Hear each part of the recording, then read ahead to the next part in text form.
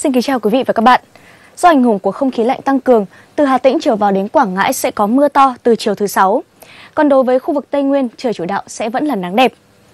Những cơn mưa nhỏ bất chợt sẽ vẫn xuất hiện trong đêm nay và ngày mai ở khu vực từ Vinh trở vào cho tới Quy Nhơn. Về nhiệt độ, từ Thanh Hóa trở vào đến Huế sẽ là từ 23 đến 25 độ. Đà Nẵng trở vào cho tới Phan Thiết, mức nhiệt là từ 26 đến 29 độ, cảm giác dễ chịu. Gành đá Nam Ô Đà Nẵng đang trong mùa rêu xanh tuyệt đẹp. Mùa rêu ở đây là hiện tượng tự nhiên xuất hiện đều đặn hàng năm từ sau Tết Nguyên đán. Và theo người dân thì khi mà lập xuân, trời bắt đầu nắng nhiều, không khí lạnh yếu, tạo điều kiện cho lớp rong rêu bám trên các dặn đá phát triển. Và khi thủy chiều xuống thì cũng là lúc mà lớp rêu xanh mướt lộ ra vô cùng tuyệt đẹp.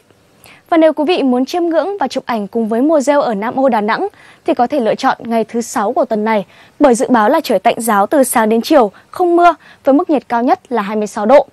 Các ngày còn lại trong tuần thì có thể xuất hiện mưa bất chợt trong ngày, riêng ngày thứ hai có mưa lượng khá. Mưa thì sẽ khiến việc di chuyển khá là bất lợi và những bức ảnh của quý vị cũng không được sáng và đẹp. Tại Tây Nguyên đang trong mùa khô và cũng là mùa đẹp nhất ở trong năm. Ngày mai trời nắng từ sáng đến chiều nhưng mà không quá nóng, nhiệt độ cao nhất ở các thành phố sẽ không vượt quá 29 độ. Đà Lạt nằm ở độ cao 1.500m so với mực nước biển nên được ưu ái với khí hậu quanh năm dịu mát. Lại đang trong mùa khô nữa nên thời tiết rất đẹp và lý tưởng cho mọi kế hoạch du lịch. Dự báo là 7 ngày tới trời chủ đạo sẽ là nắng và ít mưa, nhiệt độ ban ngày thì không vượt quá 24 độ. Về đêm ở đây trời chuyển rét với mức nhiệt dao động từ 12 đến 15 độ. Thành phố Hồ Chí Minh tiếp tục sẽ có nắng nhiều và ít mưa trong cả 7 ngày tới. Và thậm chí là vào ngày thứ 6 của tuần này, nhiệt độ có thể chạm ngưỡng nắng nóng 35 độ.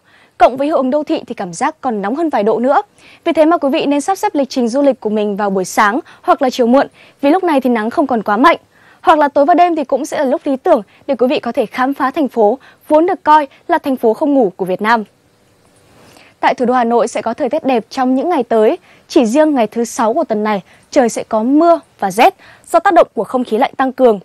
Từ ngày thứ bảy trở đi, mưa giảm, trời chuyển nắng đẹp với mức nhiệt là từ 22 đến 24 độ. Lúc này thì quý vị chúng ta có thể chiêm ngưỡng và chụp ảnh cùng với hoa ban đang bung nở trên khắp các con đường của thủ đô. Và cuối bản tin sẽ là phần dự báo thời tiết trong một số thành phố du lịch khác trên cả nước.